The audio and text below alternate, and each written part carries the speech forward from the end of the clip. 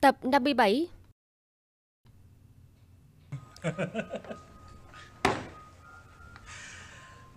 Để lên được vị trí hiện giờ. Tôi đã phải mất hai mươi mấy năm trời. Nhưng mà Vũ Dương. Tôi phải nói trước đấy. Còn phải nghe cho rõ đây. Tuy tôi không phải là thằng chồng tốt Thằng con rể tốt Nhưng mà Tôi tự nhận Mình vẫn là một người cha tốt Nên tôi không cho phép cậu Học theo tôi. Giả tình, giả nghĩa Với Tiểu Lâm con gái tôi Chỉ muốn được hưởng lợi ích từ con bé. Nếu không Tôi sẽ học theo ông ba vợ quá cố của tôi. Trong chừng cậu Cả đời này. Ba yên tâm Con sẽ không làm như vậy đâu Tất nhiên tôi biết cậu sẽ không làm như vậy. Đùa với cậu thôi.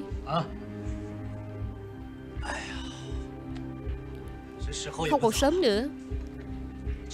Chỗ này là dành cho thanh niên các cậu.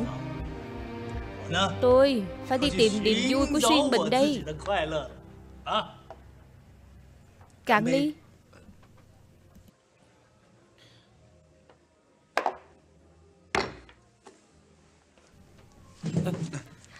Ba cẩn thận. Yên tâm. Tôi chưa say đâu. Trước đây Chỉ cần tôi về nhà muộn một chút Mẹ cậu sẽ tra hỏi tôi Như tra hỏi phạm nhân Không cần điều tra. Hôm nay Xem như tôi Trút được cơn giận rồi.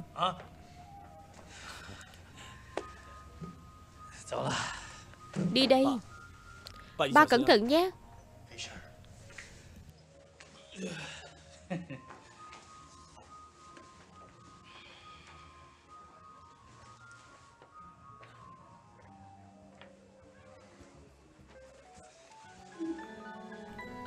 Mời anh. Anh sẽ không giống như ba em đâu. Vì anh thật lòng yêu em. Mời anh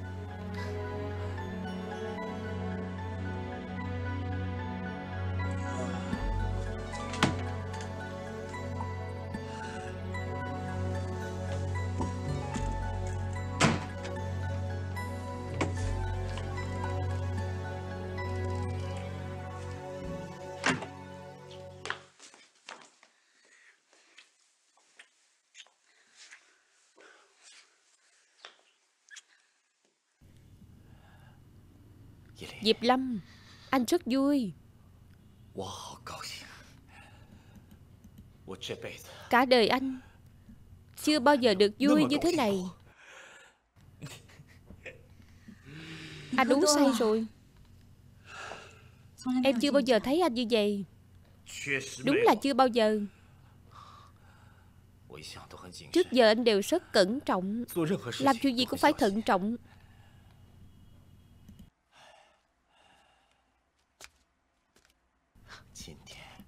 Hôm nay. Cuối cùng anh cũng được đền đáp rồi. Em, Của cải, Địa vị. Tất cả mọi thứ, Anh đều đã có. Em nói xem, Anh không vui được sao? Vũ Dương Đợi anh lên giám đốc rồi. Chúng ta hãy kết hôn Được không? Được. Tất nhiên là được. Em nói gì cũng được hết. Em biết Trên đời này Chỉ có mình anh là đối tốt với em nhất. Vì em Anh sẵn sàng làm bất cứ chuyện gì. Kể cả có phải mạo hiểm Giở trò trên xe của Hách Phạm. Anh cũng đã làm Mà không hề do dự Em thực sự rất cảm động. Em biết anh làm mọi việc là gì em? Là được.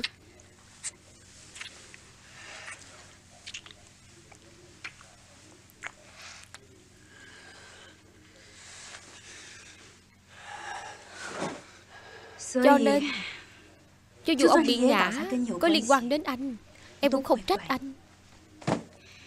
Vì em biết anh làm vậy để bảo vệ em. Nhưng có việc này em muốn hỏi anh. Khi ông lên cơn đau tim, Em cho ông uống thuốc. Anh lại không ngăn cản em. Tại sao trong lúc em đi gọi điện thoại, Anh lại không chịu nữa?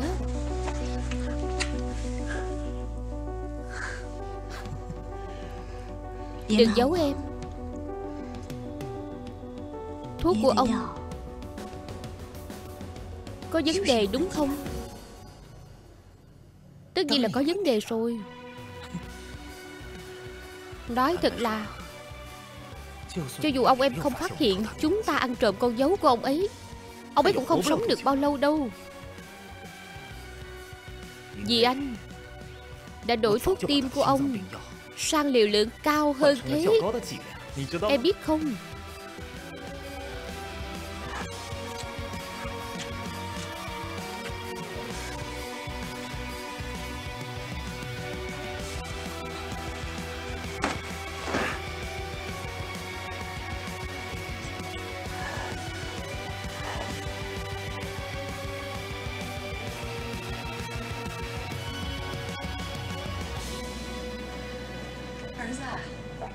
Con trai. Con không lừa mẹ chứ. Con sắp trở thành giám đốc của một công ty lớn như vậy rồi ư? Mẹ con đưa mẹ đến công ty rồi Sao lại lừa mẹ được? Đợi khi Diệp Lâm chính thức tuyên bố con trở thành giám đốc, Sẽ có một bữa tiệc rượu. Con đảm bảo ai ai khi nhìn thấy mẹ cũng đều phải kính nể. Gọi mẹ một tiếng bà hạ.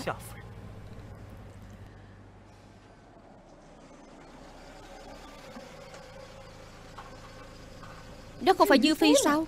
Sao nó lại đến đây? Mẹ Mọi người vẫn ổn chứ Chào bà thông gia Lần đầu gặp mặt Ai là thông gia với bà Tôi không coi Diệp Lâm là con gái mình từ lâu rồi Tiểu Phi mới là con gái tôi Hát Phạm mới là con rể tôi Bác gái Nếu cháu muốn cho cả Thượng Hải Thậm chí là cả thế giới biết ban đầu Bác vì giành giật tình yêu của người ta Nên mới bị tráo con Thì bác cứ tiếp tục làm ồn đi Đăng đau chuyện này cũng không ảnh hưởng đến cháu. Chỉ cần khiến nhà hội Dương và bác khó coi. Hà Du Dương anh đừng quá đáng. Tôi tin trên đời vẫn còn có công lý và chính nghĩa. Rồi sẽ có một ngày anh phải trả giá vì những hành động của mình. Cô bớt nói nhảm đi. Con trai nhà tôi kể từ hôm nay Sẽ lên như diều gặp gió. Còn cô đó Ai đứng về phía cô Kẻ đó sẽ đen đuổi cả đời. Bà nói gì hả? Mẹ Mẹ tôi nói không sai đâu Chưa khách phàm Ở bên Dương Phi Phải cẩn thận đấy Tự anh biết đường mà làm đi. Đến nhà hội dương giàu có như vậy Vừa dính vào cô ta chớp mắt đã bị sập đến nơi. Hà Du Dương cậu Mẹ Anh ta cố tình muốn khích chúng ta. Hà Du Dương Anh đừng đắc ý quá lâu. Bây giờ nhà hội dương đang nắm giữ một phần tư cổ phần. Chúng tôi sẽ không hoàn toàn bị ảnh hưởng trong hội đồng quản trị đâu. Vậy sao Vậy chúng ta đợi xem. Mẹ chúng ta đi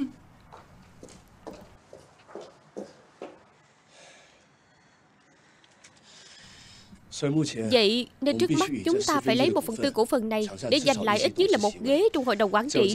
Chỉ có như vậy mới ngăn cản được đám người Diệp Lâm dở trò. Mẹ Lát nữa mẹ phải giữ bình tĩnh Đừng nóng nảy nữa nhé. Các con yên tâm. Chỉ cần có thể bảo vệ được tâm quyết của ông. Bảo mẹ làm gì mẹ cũng chịu.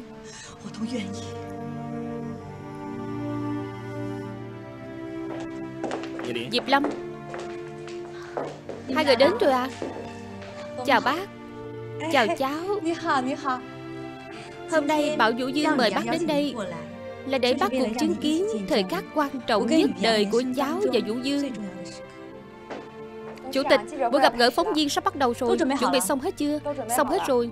Được tôi sẽ đến ngay. Em đi trước đây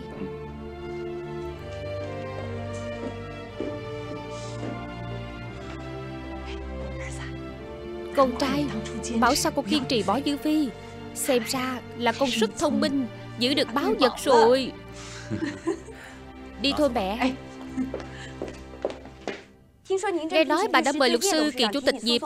Mẹ kiện con gái Rốt cuộc là vì nguyên nhân gì Xin hỏi bây giờ tập đoàn An Chính ầm ĩ đến mức đòi chia nhà? Mục đích mà chủ tịch Diệp ủng hộ Hạ Dấu Dương Và hội đồng quản trị có phải là gì Để củng cố quyền lãnh đạo không?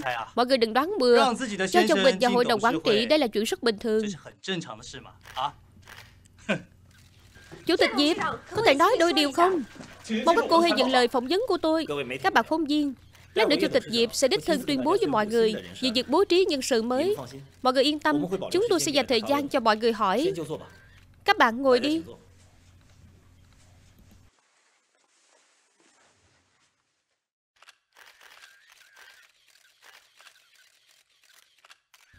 An chính là do một tay ông tôi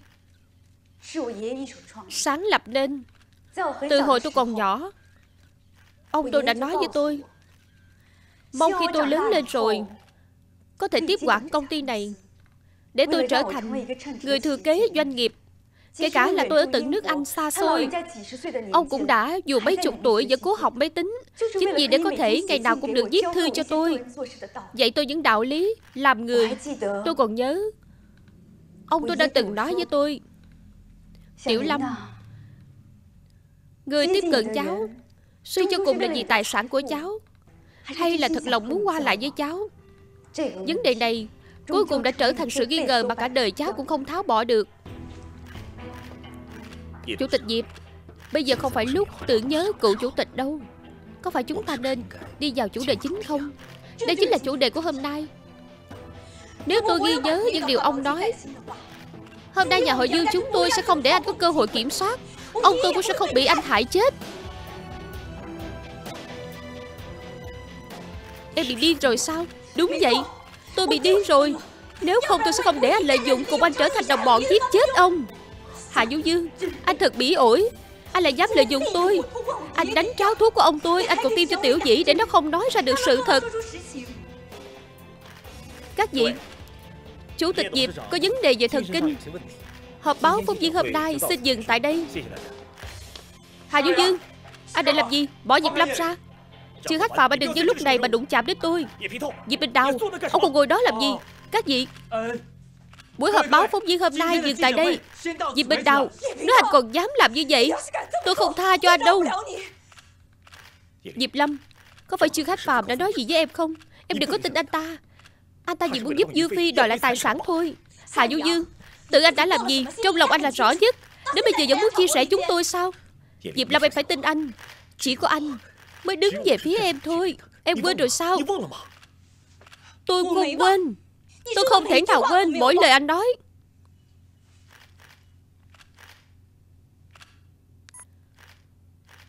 Thuốc của ông Có vấn đề gì à? Tất nhiên là có vấn đề rồi. Nói thật là Cho dù ông em không phát hiện ra Chúng ta đã ăn trộm con dấu của ông Ông ấy cũng không sống được bao lâu nữa. Vì anh đã đổi thuốc tim của ông sang liều lượng khác cao hơn rồi. Em biết không? Tên xúc sinh này, Ba của tôi không thù quán gì với cậu. Ông còn cho cậu làm thư ký quỷ Cậu lại lấy quán trả ơn. Sao cậu lại dám làm chuyện đó? Sao cậu lại có thể như vậy? Hạ Dung Dương thế nào? Để người mình yêu thương nhất nếm mùi đau khổ Vì những sai lầm của anh, Cảm giác này dễ chịu lắm nhỉ? Anh cướp hết mọi thứ của tôi và ông. Tôi phải cho anh đếm mùi thử xem. Vậy cô tổ chức buổi họp báo này Nói là để mọi người chứng kiến thời khắc quan trọng nhất của chúng ta. Là vì mục đích này sao? Không phải anh chọn cách không từ thủ đoạn để leo lên hay sao? Được thôi. Vậy tôi sẽ cho anh ngã từ trên chỗ cao nhất xuống.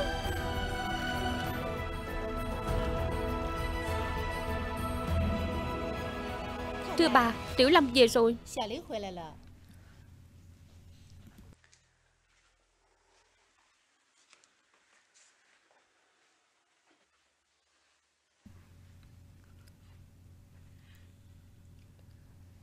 Mẹ. Đừng nói gì hết. Hối lỗi trước di ảnh của ông con đi. Cầu xin ông hãy tha thứ cho những gì con đã làm.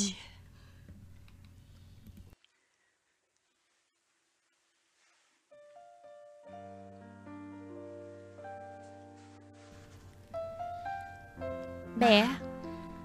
Con nghĩ ông đã tha thứ cho Diệp Lâm từ lâu Trước khi ông mất Kể cả khi ông biết Diệp Lâm hành động sai trái Ông vẫn kéo tay con vào Diệp Lâm.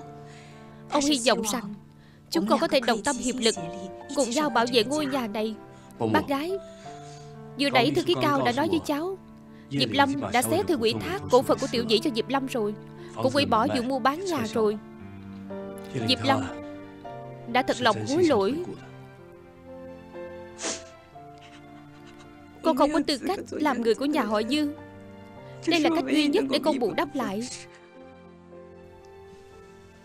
Con à Sao đến giờ con vẫn nói những lời này chứ? Kể cả con có phạm sai lầm lớn thế nào, Thì có người mẹ nào Vì con mình làm sai Mà bỏ rơi nó đâu? Trong lòng của mẹ, Con mãi mãi là con gái của mẹ.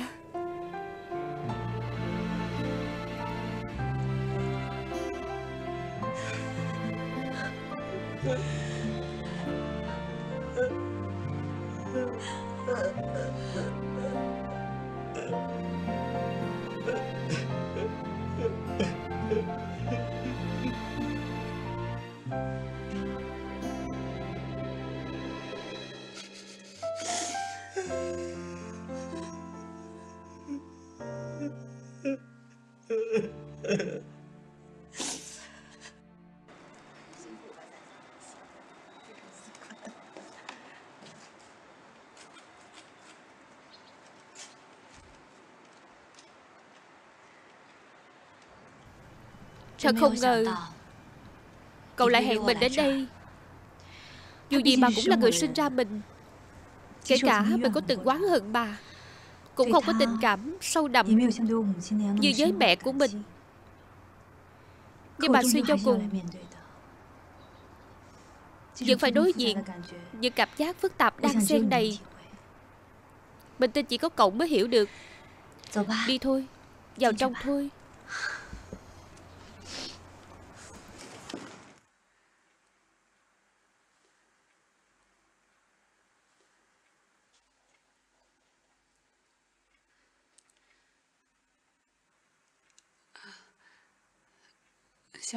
Tiểu Lâm Nghe nói cô đã từ chức chủ tịch tập đoàn An Kính rồi. Phải Không bao lâu nữa Cô sẽ phải đối mặt với hàng loạt vụ kiện rồi. Thực sự không phù hợp đảm nhiệm chức vụ này. Con mong Như Phi Có thể tiếp quản tiếp. Công việc quan trọng như vậy Là quá khó với mình. Mình không làm được đâu. Như Phi Cậu thông minh như vậy Lại có hách phạm hỗ trợ cậu Hơn nữa thư ký cao cũng sẽ hỗ trợ cho cậu Không được. Tâm nguyện lớn nhất đời của ông Là An Chính Dưới sự điều hành của cậu sẽ làm ăn phát đạt. Vậy nên có nói gì Mình cũng sẽ không giận đâu. Thấy hai con quà thuận như vậy Có thể nghĩ cho người kia Trong lòng mẹ rất vui. Cảm ơn các con đã chịu đến thăm mẹ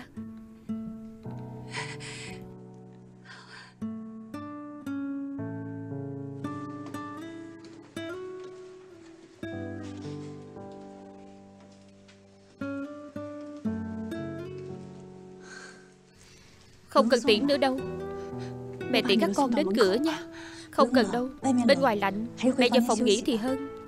Bọn con tự về được.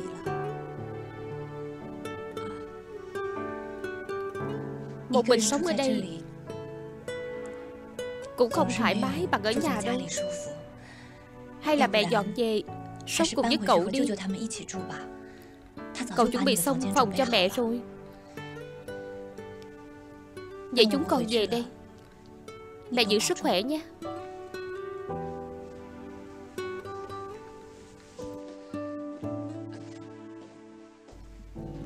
Hát Phạm nói rất đúng.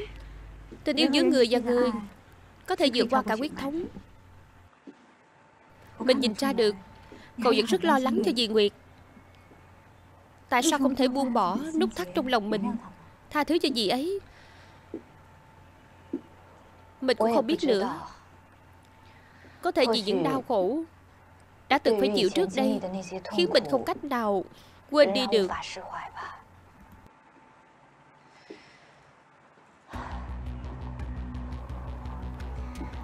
Từ từ thôi.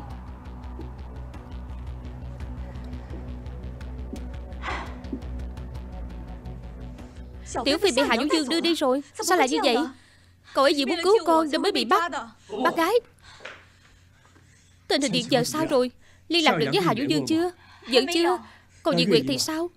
Cũng may mặc quần áo vậy Nên chỉ bị thương ngoài da thôi. Bây giờ mẹ lo là Hạ Vũ Dương đã cùng đường Nó sẽ làm hại Tiểu Phi mất. Không đâu. Mục tiêu của anh ta là con. Làm hại Dương Phi sẽ không có lợi gì cho anh ta. Diệp Lâm nói đúng. Bây giờ Dương Phi đang là mùa hộ mệnh của anh ta. Anh ta hiểu điều này hơn ai hết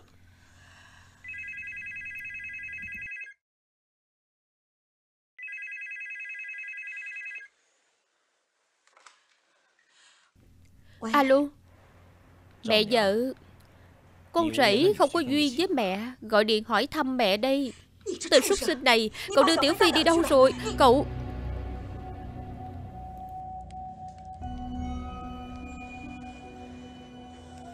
Làm sao thì anh mới chịu thả người? Nói chuyện với người thông minh vẫn thoải mái hơn. Nghe rõ đây. Cho các người hai tiếng. Chuẩn bị một triệu đô không liền số series Việc này chắc không khó với tập đoàn An Chính đâu nhỉ? Chúng ta gặp nhau như thế nào? Đến giờ thì tôi sẽ thông báo cho các người. Nhớ là, Đừng hòng báo cảnh sát. Nếu không anh đợi kiếp sau, Mới được gặp vợ của mình đi. Thế nào? Hắn nói thế nào? Hắn đòi một triệu đô. Con về công ty gom tiền. Đúng, Đưa tiền cho hắn. Chỉ cần hắn chịu thả người là được. Cho dù có đưa tiền cho hắn, Chưa chắc hắn đã chịu thả người. Không chừng còn nguy hiểm hơn. Chúng ta phải báo cảnh sát.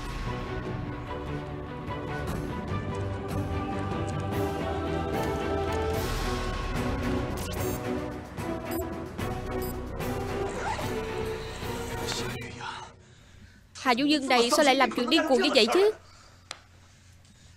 Các vị Chúng tôi đã đặt thiết bị định vị trong túi rồi. Ai sẽ đi nộp tiền chuột Tôi đi. Tôi là cậu của nó. Hơn nữa tôi còn xuất thân từ ngành võ Tôi biết võ Tôi bảo vệ được con bé. Được chứ? Làm ơn đi. Khuôn mặt nổi bật như anh Đi trên phố sẽ có đám người dây lại xin chữ ký. Còn đòi nộp tiền chuột gì? Đừng có phá đám. Tôi đi. Tôi nhất định sẽ đưa Dương Phi về bình an. Hách Phạm Vũ Dương là gì em? Nên mới thù hận anh. Nếu anh đi chắc sẽ mất mạng đấy Dư Phi, Chỉ là vật thế mạng. Mục tiêu của Vũ Dương là con. Để con đi thì hơn. Con đi rồi, Anh ta nhất định sẽ tha cho Dư Phi. Không được. Tự con cũng nói mục tiêu của nó là con. Nếu như con đi, chẳng phải làm mở chân miệng bèo sao? Tiểu Phi là con gái mẹ. Con cũng là con gái của mẹ. Bạn mình nói rất đúng. Hai con không ai được có thêm nguy hiểm nữa. Mọi người đừng tranh cãi nữa. Cháu đi. Cháu là chồng cô ấy. Cháu đã hứa với cô ấy Sao bảo vệ cô ấy cả đời. Anh yên tâm. Chúng tôi lắp máy theo dõi trên người của anh. Ngoài ra sẽ có đồng nghiệp bảo vệ anh Trong một phạm vi nhất định. Khoan đã. Tiểu Dương sẵn sàng chưa?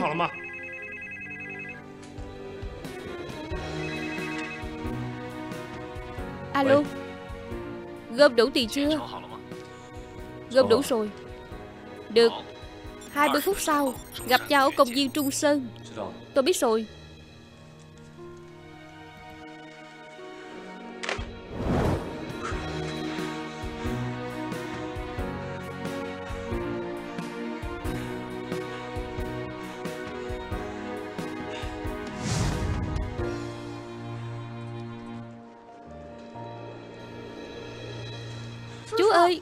chưa khắc phạm có phải không?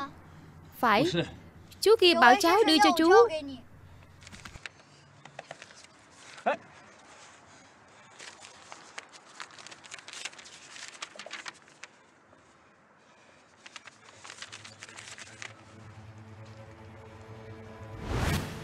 Tổ B Mục tiêu đã xuất hiện bám theo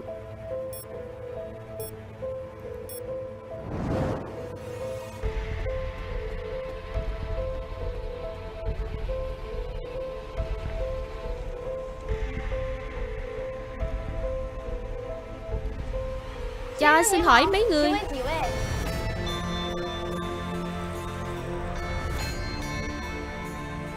Một người.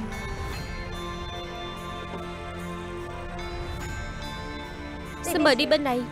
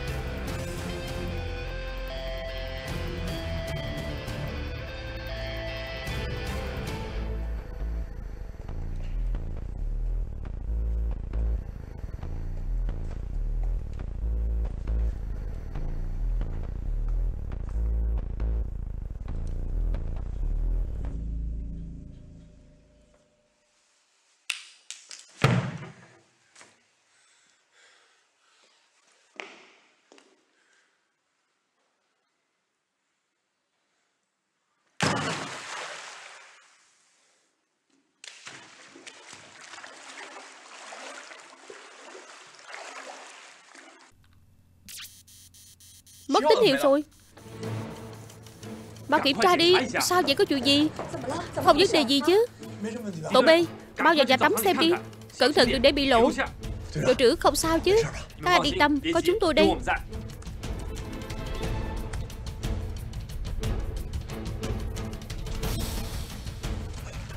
Hà Du Dương.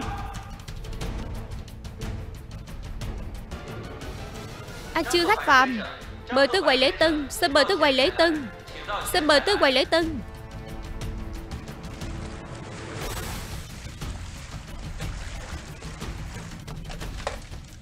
Alo Tắm xong dễ chịu hơn rồi chứ. Bây giờ rời khỏi cửa sau của nhà tắm Trong vòng 10 phút Phải đến cầu Long Đằng.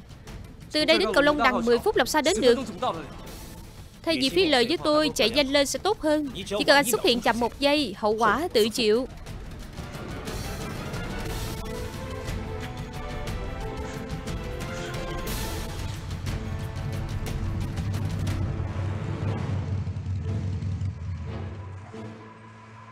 Anh nghe điện thoại đi.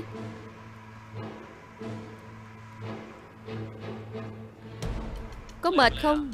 Biết cảm giác bị dồn vào đường cùng là như thế nào rồi chứ? Dư Phi đâu? Tôi nhìn thấy tiền. Tự sẽ thả người. Không được, tôi phải thấy người trước. Dư Phi đang ở trong tay tôi. Anh không có lựa chọn nào khác đâu. Trừ khi tôi xác định cô ấy không sao. Bằng không anh đừng hòng cầm được tiền. Hát phàm.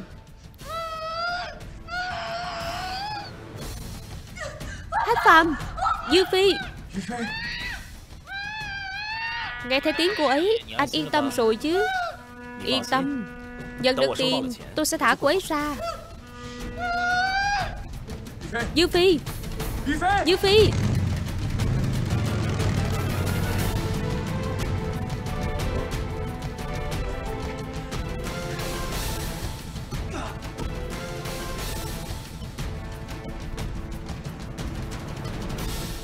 Hà Du Dương rất thông minh. Hắn ta bắt con nhảy xuống bể tắm Để máy theo dõi mất tín hiệu rồi Mới bắt con đi đến điểm giao tiền chuột thực sự. Và Tiểu Phi thì sao? Con gặp con bé chưa? Nhưng khi nói chuyện điện thoại với hắn ta Có thể xác nhận rằng ấy bây giờ đang được an toàn.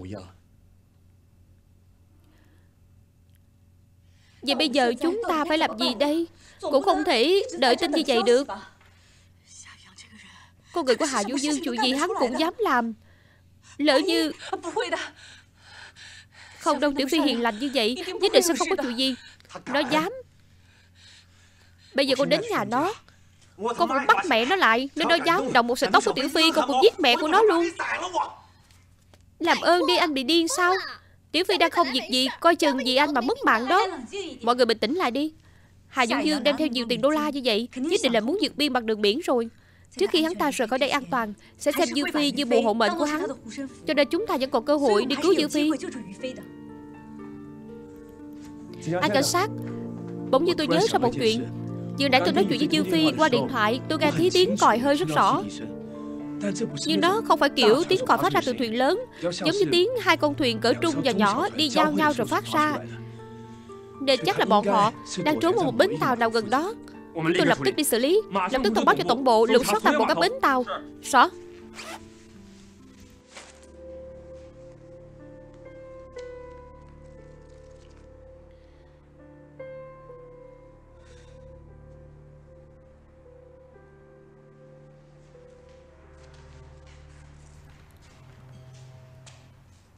Em yên tâm.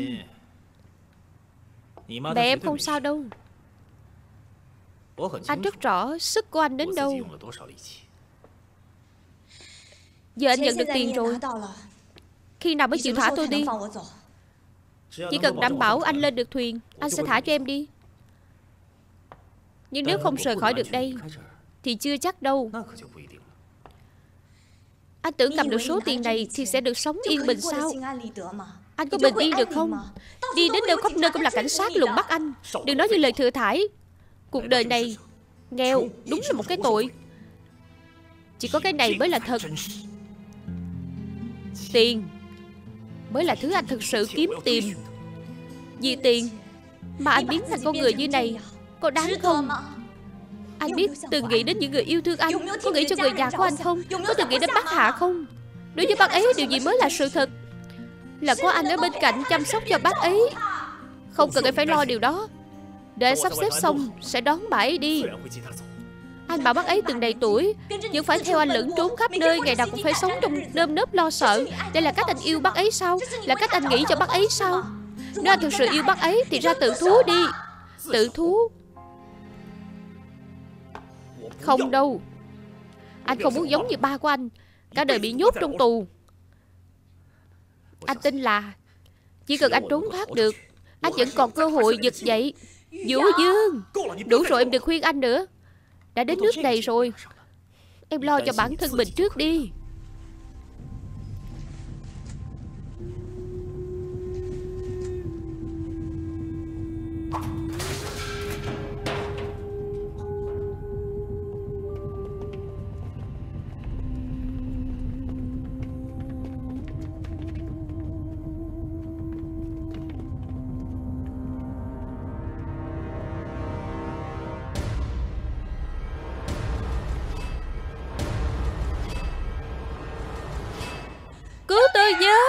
Có ai không? Cứu tôi với, Có ai không? Cứu tôi với.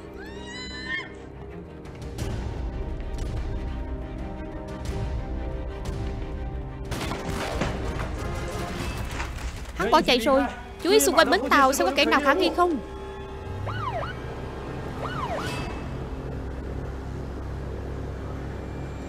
Dư dư, Anh không thoát được đâu. Đừng phạm sai lầm nữa. Im miệng. Gián cược này anh nhất định phải thắng. Anh bỏ tôi xa. Tiền của tôi.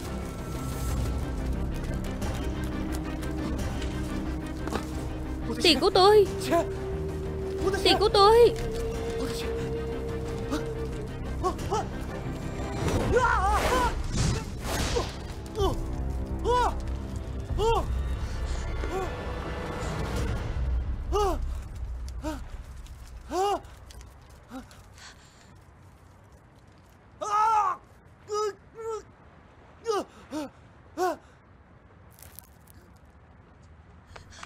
Vũ Dương.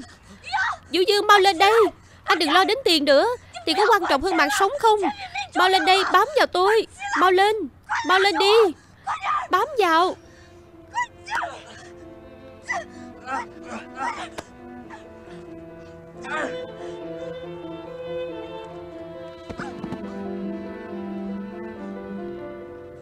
Tại sao lại cứu anh?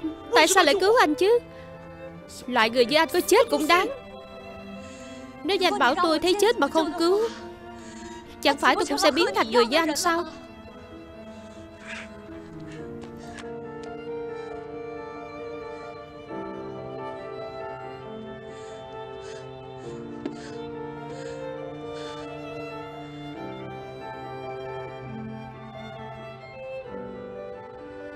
Quen với em từ nhỏ cho tới giờ, Em vẫn không hề thay đổi chút nào. Em biết anh ghét chiếc điểm nào của em không? Chính vì em hay đi lo chuyện bao đồng.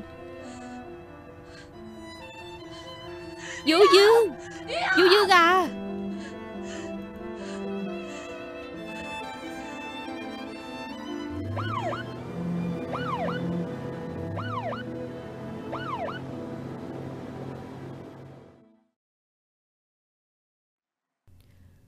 Thưa bà Cô Dương Phi về rồi Tiểu Phi Tiểu Phi.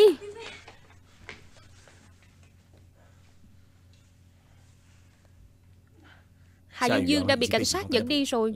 Chúng tôi liền đưa Dương Phi về đây. Cảm ơn. Không có gì. Cuối cùng em cũng trở về nhà bình an rồi. Là Hạ Dương Dương chủ động thả em về. Xem như nó còn chút lương tâm. Đó Cũng chỉ vì một chữ tham thôi.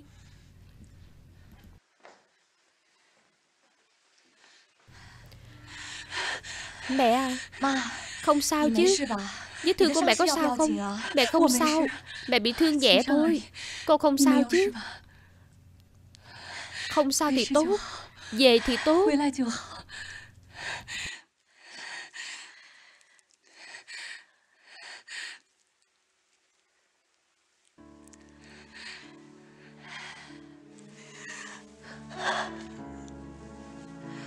Ông trời phù hộ Mẹ còn tưởng là không bao giờ gặp được con nữa.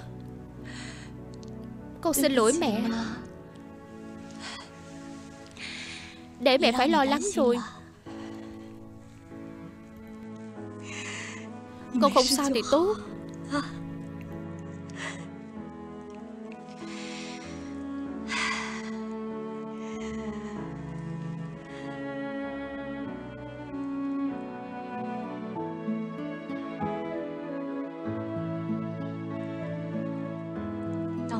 Con biết được thân phận của mình. Con vẫn khó lòng chấp nhận. Cũng rất kinh ngạc. Con tưởng là Con đã phải chịu đựng nỗi đau lớn nhất trên đời. Cho đến hôm nay Trải qua bao nhiêu sóng gió Trải qua biết bao cửa ải sinh tử. Bỗng nhiên con nhận ra. Con nghĩ thông suốt rồi con đã may mắn biết bao. Cô có tận hai người mẹ. Hơn nữa Còn là hai người mẹ rất là yêu con. Cảm ơn hai người. Con rất hạnh phúc.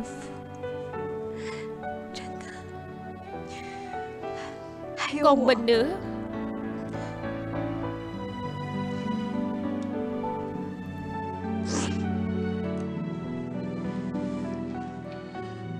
Người chị em ruột thịt, Có cuộc dòng máu với cậu. Mình xin lỗi Dư Phi. Mong cậu hãy tha lỗi vì những chuyện mình đã làm với cậu.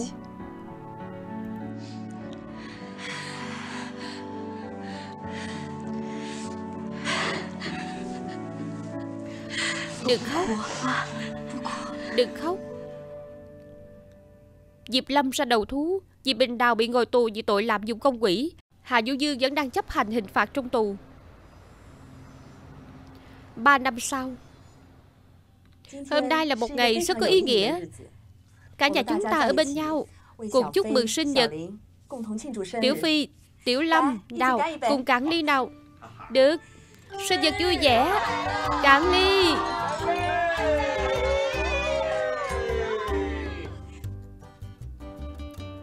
Nhưng sóng gió xảy đến vì chuyện thân thế Cuối cùng cũng xem như qua hết rồi Ai ai cũng đều quay về cuộc sống yên ả ban đầu Nói mọi người nghe nhé Bây giờ ca đạo diễn Hollywood Cũng đến mời Dư Cường đóng phim rồi đó. Hơn nữa còn là đạo diễn của một bộ phim siêu anh hùng. Nhưng nói thế nào anh ấy cũng không chịu đi. Mọi người có biết gì sao không? Không phải là gì không đành lòng xa lưu tiểu huệ nhà chúng ta chứ. Mợ là mợ. Cháu biết rồi Nhất định là vì trình độ tiếng Anh của cậu cháu quá kém Đúng.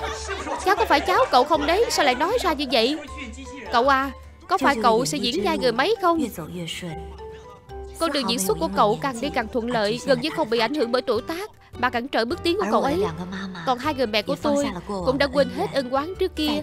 Một lần nữa trở thành chị em thân thiết. Giữa hai người không có gì là không thể tâm sự. Cùng chia sẻ với nhau, Cũng giống như rất nhiều năm trước. Tiểu Lâm con mau lên đi Mọi người đang đợi đấy. Con bé này chỉ biết công việc. Bây giờ Diệp Lâm cũng đã dùng hết công sức vào công việc theo như ý của ông.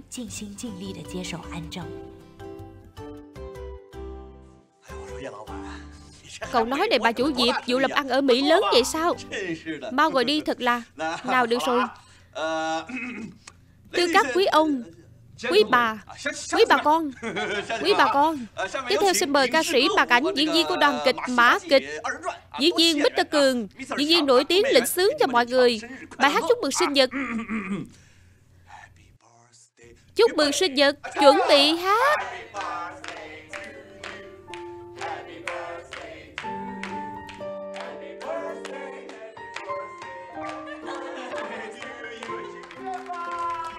Ước đi Đời người không tránh khỏi việc lúc lên lúc xuống. Tôi tin rằng Dù có gặp phải sóng gió đến thế nào Chỉ cần trong lòng có tình yêu Thì sẽ luôn sực rỡ Như những ánh đèn Hãy subscribe cho kênh Ghiền Mì Gõ Để không bỏ lỡ những video hấp dẫn